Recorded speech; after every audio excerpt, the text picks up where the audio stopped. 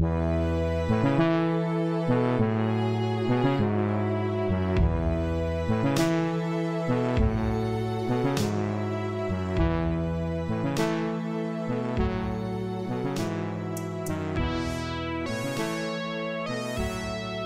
world. I'm Max Patten, and this is Dreaming Polygons, the podcast that explores the games industry by interviewing the ambitious dreamers and creators who are shaping its future, one polygon at a time.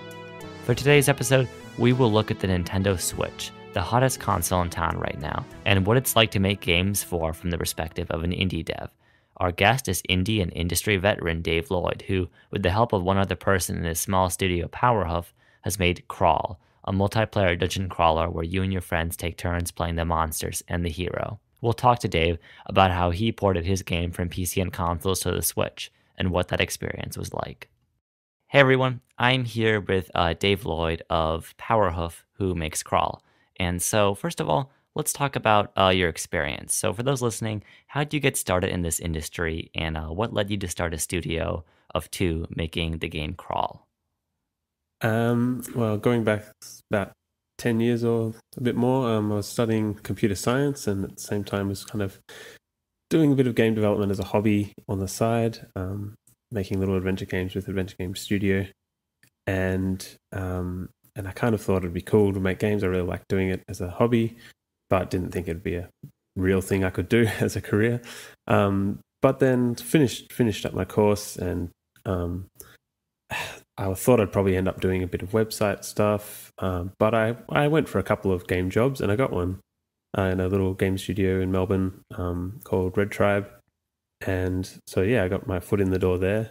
And it was a bit of a ramshackle studio, but uh, we learnt a lot at that um, working there just because there was no there was no real project leads or designers that knew what they were doing. So we kind of had to uh, had to kind of work all that stuff out ourselves and, and realize, oh no, no one else is going to make this game good. We've got to kind of do it ourselves, you know. Um, uh, so that was a really good experience, and that's actually where I met Barney, who's the other half of Powerhoof. Um, and yeah, so we are in the same boat, thrown in the deep end um, as junior um, programmers and artists. Uh, and so that company uh, kind of fell apart when the global financial crisis hit, and all the companies in Melbourne that were depending on overseas contracts from the US. Uh, suddenly, those contracts dried up because the Australian dollar was not as good compared to the US dollar anymore. So uh, those companies fell apart, and me and Barney went our separate ways. And well, we still hung out as friends, but um, we worked at different companies. So I got a job at at Firemint, who did real racing, flight control, so kind of iPhone games. And Barney got a job at Iron Monkey, who was owned by EA, and they were also doing iPhone games. And then eventually, EA bought out uh, and merged them two companies together as Firemonkeys, and so we're working together again. And so yeah, stayed there for a few more years doing iPhone stuff, but it was when all the freemium stuff was coming up, and we weren't huge fans of that kind of thing. So uh, eventually decided to um, try out hand being indies and um, making our own kind of stuff, and quit started Powerhoof, which was about four four and a half years ago. Crawl really does seem like the perfect game for Switch. It has a simple graphical style um, that the console, you know, can run. The emphasis on streamlined fun. It has local multiplayer. Was that your line of thinking in deciding, you know, to port it to Switch?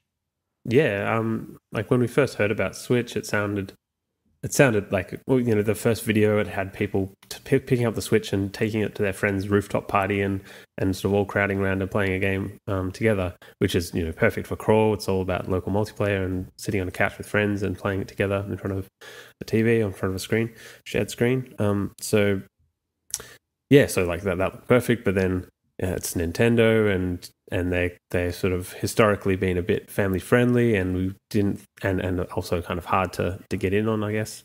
And so I, we kind of discounted discounted it early on um, and thought it'd be nice but it's probably unlikely that we'd we'd get to do do um, something with Nintendo. And but then yeah later on they sort of got um, a couple of contacts us from Nintendo sort of asking us if we are interested. Um, and then it actually realized, oh yeah, actually they're being really open and um, and they've got a really nice system for people to to come in and and like start developing like relatively easily. Uh, so yeah, it was really surprising. And um, yeah, if anything, I wish I'd, I'd, sort of been more aggressive earlier on and going, ah, we really should try and do this um, because it was a lot easier um, once we started to, than I expected it to be. Yeah. Yeah, and I was surprised too, you know, when I heard that Nintendo was themselves reaching out to independent developers because that's so, you know, unlike Nintendo, or at least what we used to think of Nintendo as back, uh, I guess, before the Switch. Because it used to be that, you know, you had some stuff on the eShop that wasn't like from big publishers, but there wasn't a lot of it. And the idea, the idea that they would just come up to you and, uh, you know, get in contact, that is um, pretty radical, I think. Yeah, um, I think I guess after the Wii U as well, we were a bit tentative at first. I think a lot of developers probably were because um, the it sort of seemed like it was a bit of a smaller console and and it's you know it takes a lot of work to to port and so you don't want to you don't want to do it if you think the console might not make enough sales to be worth it. I guess part of it was when I got a Switch and realized, oh, there's actually not much on the storefront. It's um, there's a lot of space here um, compared to other platforms. It sort of made it clear, yeah, this is this would be awesome.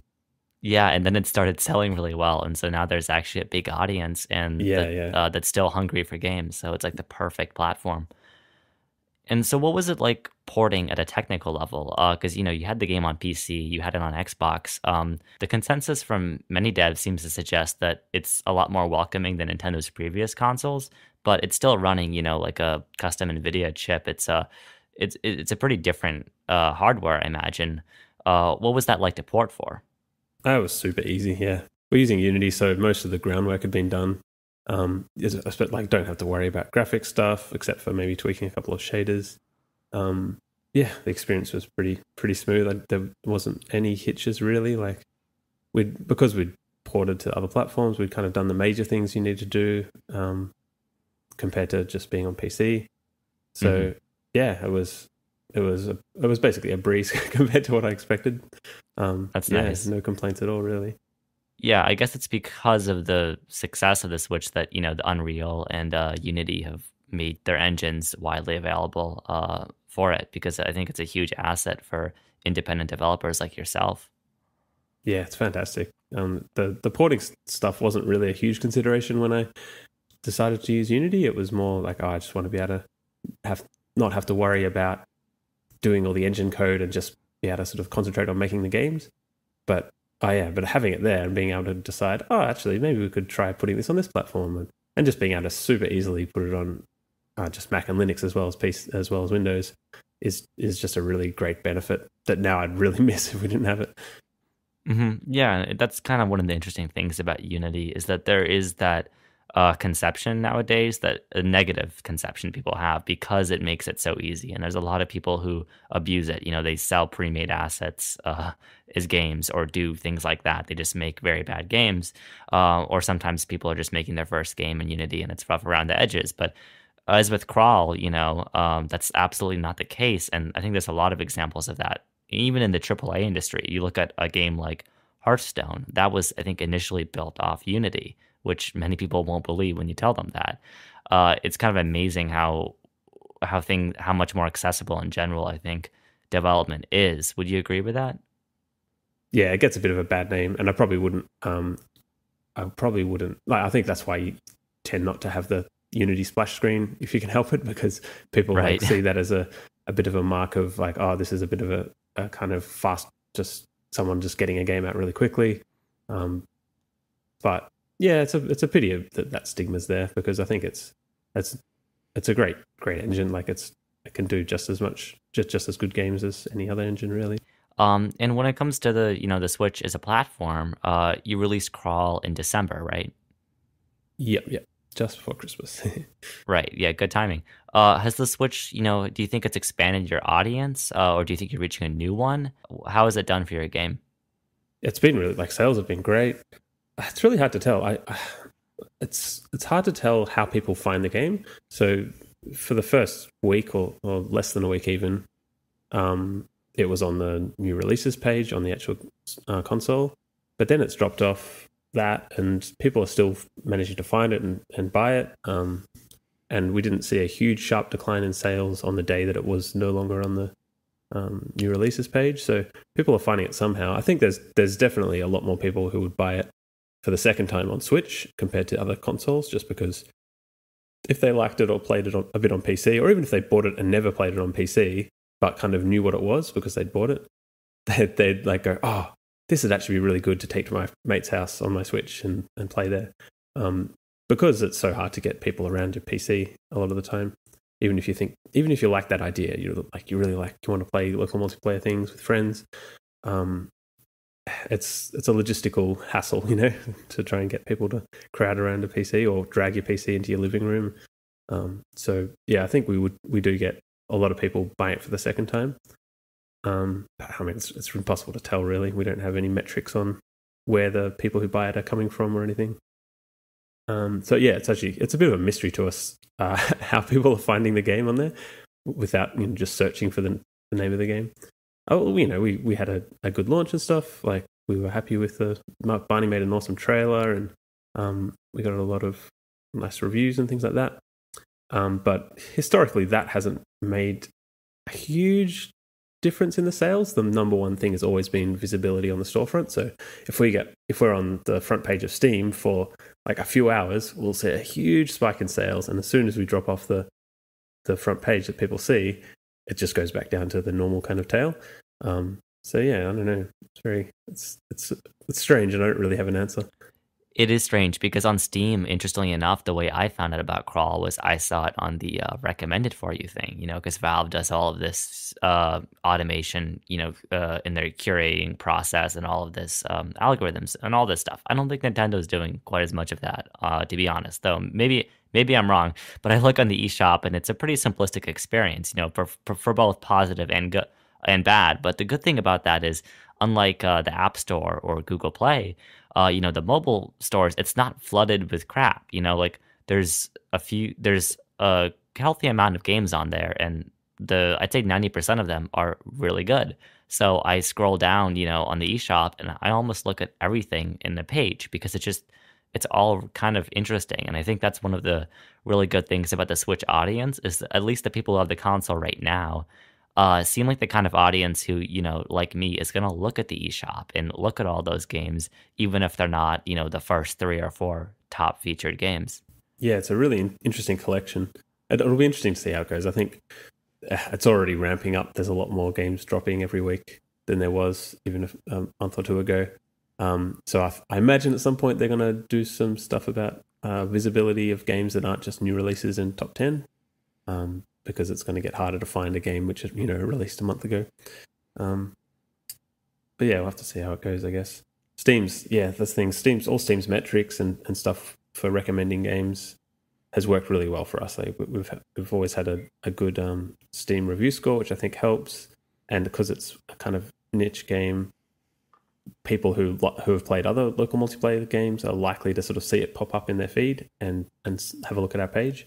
And so I think that's that's how we've kind of been relatively, you know, we've been very successful, you know, for a two man team, especially on on Steam. Is just like people randomly find our game um, in that in that way, and so it's yeah, it's interesting to see, like, because I, I just imagine that it can't really work the same on something like Switch where they don't have any of those metrics. Like, how would people actually know to go and search the store for the game called Crawl?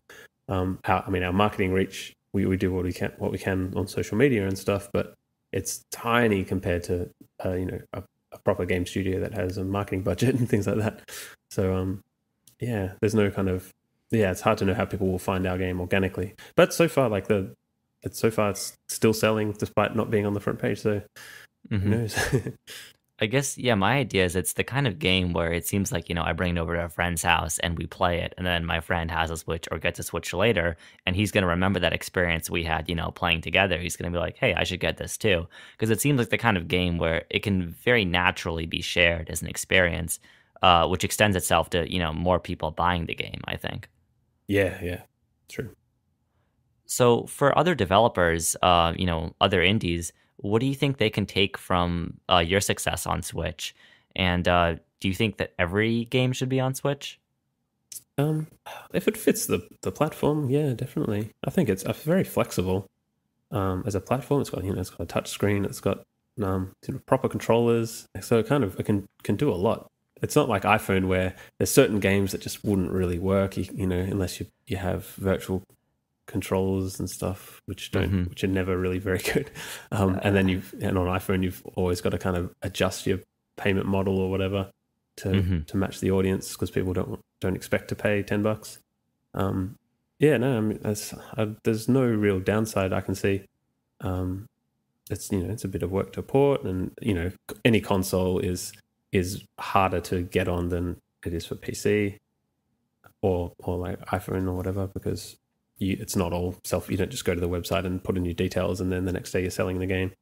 You Mhm. um, you've got to email back and forth a lot and organize a lot of things and do all these TRCs and get your game tested and um, go through ratings boards and all this fiddly producer kind of stuff. But um, our experience has been great. Yeah. Yeah, and it, it's it's interesting you brought up you know that um, all the Switch's capabilities because in my mind actually I kind of view the Switch as quite limited at least from a hardware perspective because it's obvious that it's not as powerful as other consoles. And uh, funnily enough, I don't think it's as powerful as most phones or tablets. At least you know the ones that Apple and uh, Samsung, you know the top tier ones are making, just because it's you know it's it's a console, right? But it's well designed, and that's really what separates it. But in in one sense, like it kind of makes me sad because I think of you know the early years of mobile gaming, uh, and you mentioned you know stuff like Real Racing, Dead Space. Those were really I think innovative breakthrough games that like you know push the hardware to its limit and I I can only imagine if stuff like that, you know, was still being made today. But unfortunately, it's a lot of, um, as you said, you know, free to play stuff. Do you think that Switch is kind of that mobile has passed the torch to Switch when it comes to premium experiences as a whole, or do you think there's still hope for uh, mobile games? Uh, I don't. I don't know. I don't. I don't really consider the Switch a mobile platform in the same way. Like, it's the the the defining thing about mobile is everyone has one, and they're always it's always in your pocket. Whereas a Switch, you're only going to take it somewhere if you want to play games. Um, so it's kind of a different mentality for people who are playing the games. They're not just like, oh, I've got a few minutes and I'm standing at a bus stop, so I'll play whatever's on my phone. It's like, oh no, I've I've brought this because I want to play a specific game. It's not, yeah, it's not just something you kind of do as idly. Um, so yeah, I'm not sure. I think, I mean, with, with the performance stuff, f- for most indies, it's not. It's like they're not going to be competing with AAA. Um, so they're not really going for like the the best, fanciest graphics that are the most modern and and stuff. So that's Mhm. more a problem for AAA because AAA wants to compete on like we have better graphics than any other game. Um, Right. whereas for indie, you're like we just have you want to be different, you want to stand out and have a hook. So Mhm. um, and the, you can't afford to compete with the AAA stuff. So, um, so it's not so much of a problem. Um, but yeah, it's interesting. And Nintendo's always kind of tried to avoid being part of the like competition with uh, Sony and, and Microsoft. At least you know the last few generations of consoles since the Wii. Mhm. Um, and I think it's probably a good strategy for them because Historically, yeah, it usually has been an advantage. Obviously, there's exceptions like the Wii U, but uh, when they Mhm. get it right, they seem to get it right pretty well.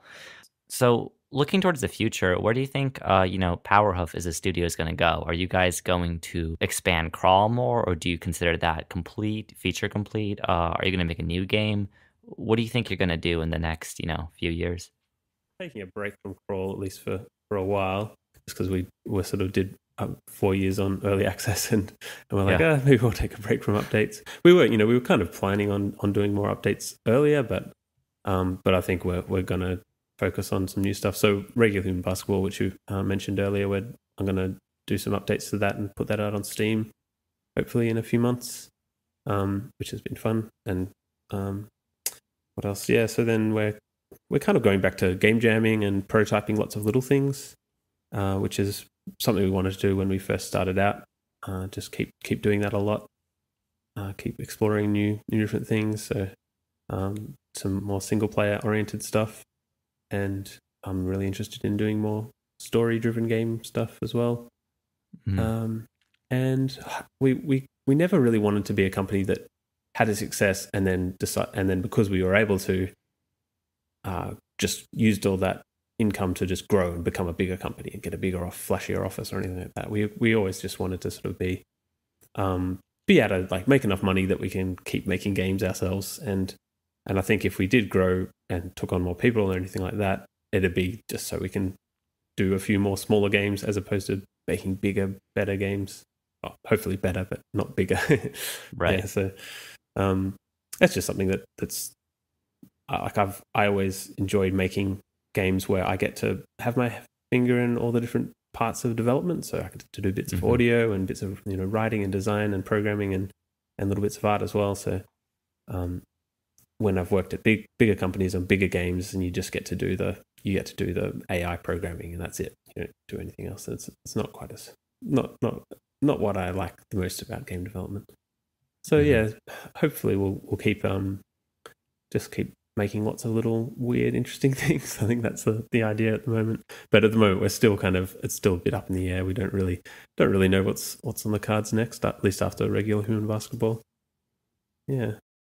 Well, it's good that uh, you know uh, crawl and regular human basketball have you know brought you success, and that uh, looks like you're able to stay indie. And I wish you guys luck with your future endeavors. Thanks. You can follow Powerhoof and Dave on Twitter for updates on their future endeavors. Links in the description. That's it for now. I hope you enjoyed this episode. If you did, feel free to rate us on Apple Podcast or leave a like on YouTube.